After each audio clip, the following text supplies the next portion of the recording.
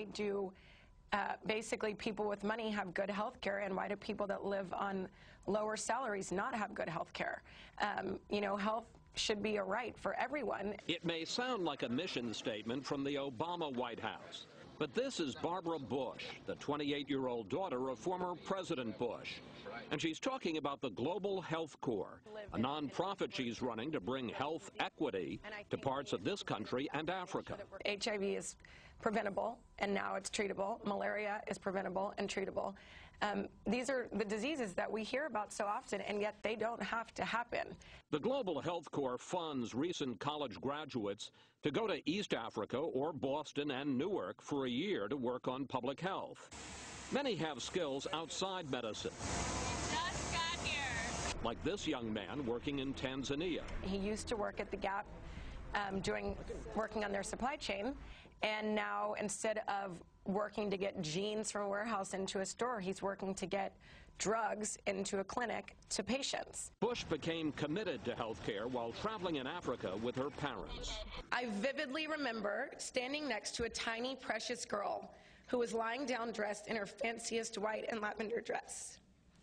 I didn't know the detail of that child's life. Only that, excuse me, that she was too sick to stand. The little girl died soon after. After graduating from Yale, Bush worked in a children's hospital in South Africa. But having the passion was different than starting an organization and asking Google for a quarter million dollars in seed money. I was totally terrified beforehand, and really it was probably the most intimidating thing. Um, that I'd done. The Global Health Corps sent 22 fellows into the field last year. Within five years, they hope to have 500. But we were still struck by Bush's statement, health care should be a right for everyone. What do you think of Obama health care reform? That is a good question, and um, obviously the health care reform uh, bill, you know, was highly debated by a lot of people, and um, I guess I'm glad that you know, a bill was passed. While Bush handled that like a pro, we noticed how easily she's made the transition from first daughter to private citizen. To be honest, I mean, I haven't had a ton of adjustments. I feel like I've always been able to live a pretty anonymous life. As first daughter, I took the subway, um, and now I take the bus from New York to Baltimore to visit Jenna. Do you have any interest in running for office? Jenna and I both grew up with our grandfather um, in politics and our dad in politics, and I just don't see that being some, a decision that I would want to make for myself in the future.